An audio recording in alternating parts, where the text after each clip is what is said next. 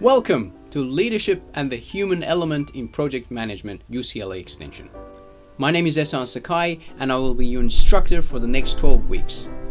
Over the next 12 weeks, we will cover the human dimension of project management. Although complex, the human dimension and human factors prove to be one of the most important aspects of project success. Over the next 12 weeks, we will cover the following topics. In week 1, we'll go over through the whole introduction of the course. We'll also look at the difference between project manager and leader, the challenges and complexity of leading projects, and a systems perspective of cause and effects. Week 2 begins with self leadership. So we look at vision and value, self awareness, self knowledge, and basic self management. Week 3 looks at motivation. Why do we do what we do? Intrinsic versus intrinsic motivation, basic psychological needs, and goal setting and motivation.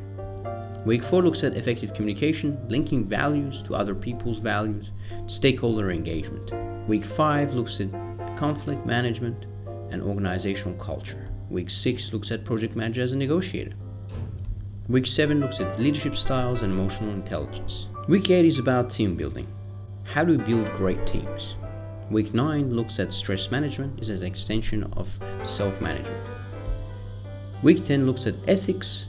Week 11, politics, the project manager as a politician. Week 12 will wrap up with final thoughts and lessons where you also do your exam.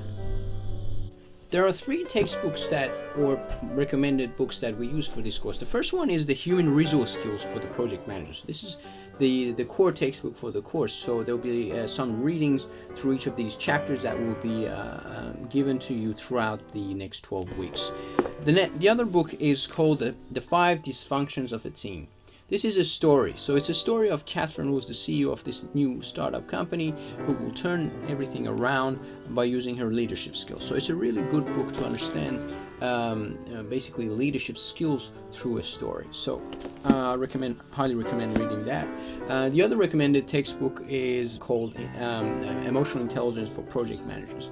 This is also a, a very good book um, because it goes through how to utilize uh, emotional intelligence in a project environment. So these are the three main uh, books that are uh, that we use throughout the course. Everything else I will provide you with materials. So I do actually go through other um, resources and I create materials. Uh, you'll see a lot of illustrations and cartoons, which I basically draw um, based on some of the, the readings and the research that has been done around uh, the, uh, the area of leadership in project management.